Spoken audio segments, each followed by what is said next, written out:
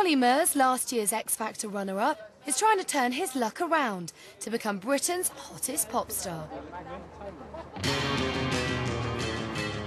Summertime is nearly here and it's off to the country to make the video for Olly's first single. He's learning fast that there are certain perks to becoming a heartthrob. They gave me the video to choose who the lead girl would be, so I had a look through and she's the girl that we picked. I haven't actually been given her name yet, but she's really, really attractive. Hate getting my body out, that is the truth. You'll never ever see me get my body out. I'm a bit conscious about my body. I'm uh, really excited about this. It's going to be a bit daunting because there's so many people and I've forgotten probably everyone's names. John? No? Steve? No. Dave? Olly's revelling as centre of attention and it's all go on set. Just thinking ahead as well, Yeah. when we turn around to the reverse, whilst this has been cleared away, we'll just get some details of people coming off the bus. Oh, no, no, no, no. Three, two, Action Olly. Not only is Olly excited because it's his first single, but also because he wrote it. Uh, the first single jumped out, and, and all I could say was it sounded like an Olly record. We wrote the song in April, just after the tour finished. When you do write, you, you talk about experiences and what you've done. There was something going on at the time that happened on, with a girl, and it was kind of like me. Please don't let me go. My head is spinning all around. Oh, oh. I waited so long. I need to know, darling, what is on your mind? I think I've actually come to a few parties like this before. Um,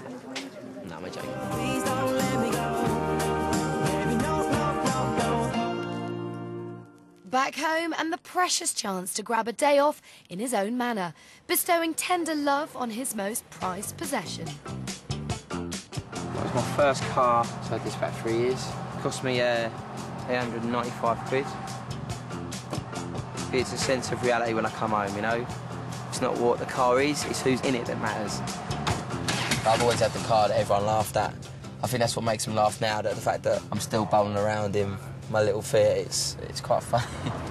Getting in my car just means, uh, you know, it's actually a little bit of freedom. No one really recognises me, no one wants a picture, no one wants an autograph. Um, I've always lived in Witham, I always come back here. I love it, I don't know, it's just home. I feel safe, I suppose, as well. Growing up in Witham was obviously a happy childhood for Olly and his twin brother. Me and Ben were always close, two peas in a pod. If we ever had a row with each other, within an hour we'd be back playing computer games together. It never lasted more than three or four hours. We're not as close as we used to be, but you know, he is still family, and it was just completely unlucky that I had to miss these wedding because I was on the X Factor. You know, we spent a lot of great times together. We'd literally just play football every single night. Who knows in the future, I'm sure things will, will pan out and things will become better between us. Olly's childhood dream was to be a professional footballer and to walk out onto the pitch at Old Trafford. I would have loved to have been a professional footballer. I'm going to be honest, I'm not going to lie, I love singing, love performing, but if there was one thing I'd love to do, it's just to walk out and play football every single day. A Famous walk from the Old Trafford tunnel, a new experience for many of these men.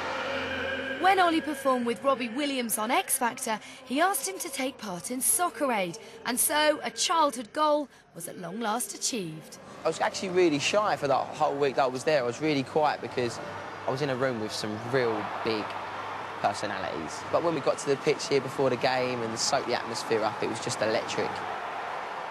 I think one of the best moments was in the second half when I got the ball on the right hand side, I cut inside and I played it to Alan Shearer. Alan Shearer took it out to the right, crossed it in, and I was going to head it. But Teddy was like, Teddy's ball, and I ducked.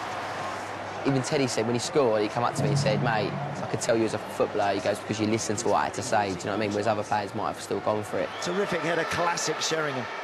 When he came to penalties, I was the last person to take the, the last penalty, and I was like, look, Robbie, I ain't taking it. And he was like, well, I'll take it. I was like, yeah, please, you take it, you take it. So he took it and missed. And it kept going through everyone, and we ended up doing sudden death, and it got to me, and I was like, oh no. Just ran up as quick as I could, got my little feet going. Ooh, almost through Patrick Kielty, that one. 4-3 England. I I probably would say, of everything that I've done, it's probably been the highlight of my year. Until my single comes out in the charts, this has been the highlight of my year so far.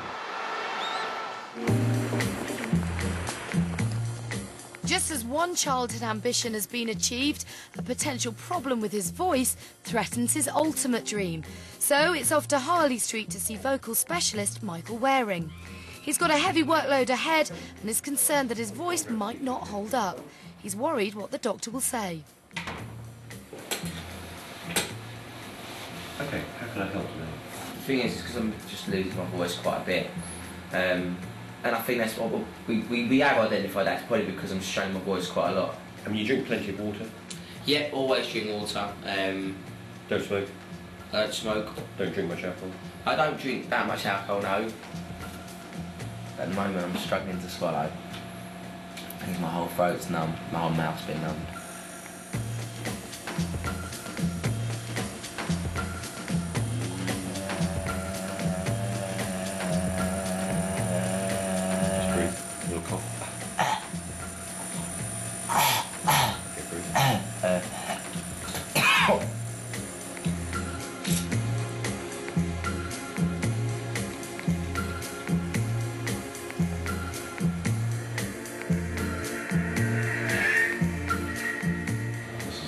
Epiglottis. They're just generally a bit swollen. Yeah. And probably, you know, they'll get more swollen than less swollen. The answer really is only, only to talk or to sing when you're getting paid for it, or when you're rehearsing to get paid for it. I mean, you mentioned before that you know you like talking. It's it's all that use of it that creates the problems. Yeah. I mean, that, that, this is just a bit of phlegm, of course, which I Yeah, think of you course. then, you then you then get your cough off. The rock and roll lifestyle is not conducive to the rock and roll performer, Yeah, cool. unfortunately.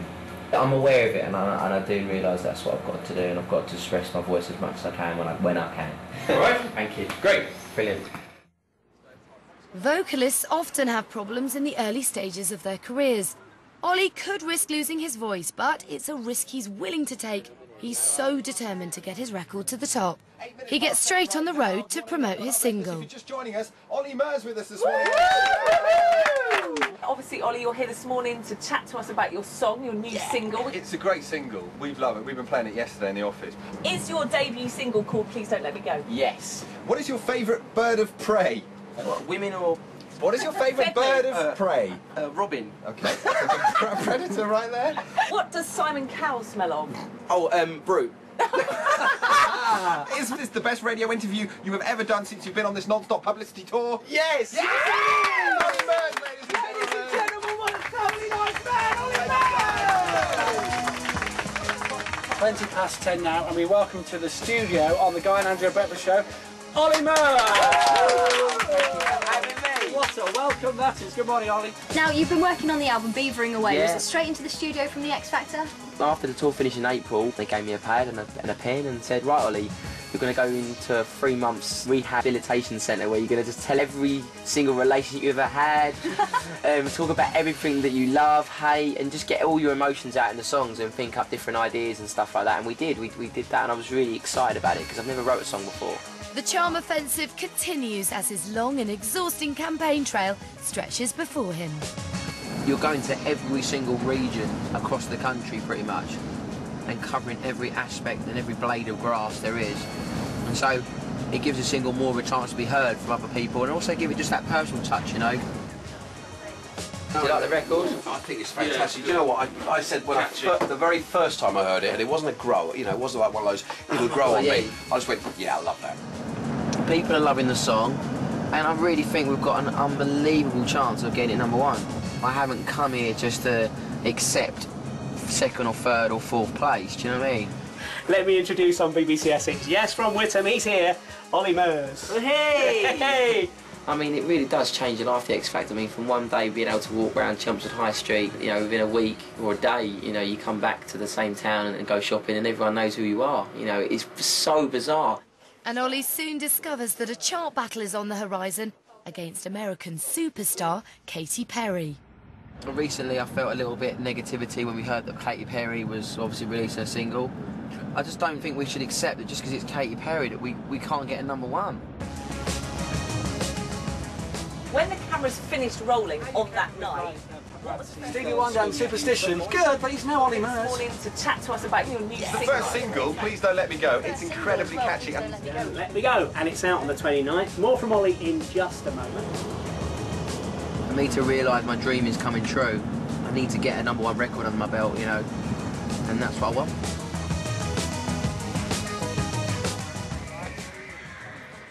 Olly knows it's going to be a tight battle and he's giving it everything. But suddenly he's dealt a massive blow when his twin brother makes their private feud very public by selling a story to a tabloid newspaper. Sunday was when my brother decided to, to sell a story to the News of the World, which was pretty upsetting for the whole family. We, we didn't take it very, very well. It was something that we wanted to keep private. Unfortunately, you know, Ben didn't want to give us a call and speak to us. He decided to go to the papers. Yeah, we've had our differences and there is two sides to every story. He knows that if I wasn't on the X Factor, I'd have been there with no problem. Been some ongoing rows with the family for a long, long time over different issues, so I think it was quite upsetting to see him blame me for everything when really there's more to that. It's just a shame he didn't give us a ring, really. We're only a phone call away, you know, and I think that was the most disappointing thing about it, really. He just doesn't seem like the brother that I used to know. I just didn't think he'd ever be like that, you know, that harsh and he's chosen to go to the papers and get paid for it. You know, it's just it's shocking, really. Unfortunately, I've got to dust myself down and, and get on with it because you know this means so much to me. Coming up, how can he overcome this personal setback and stay focused in his quest to reach number one?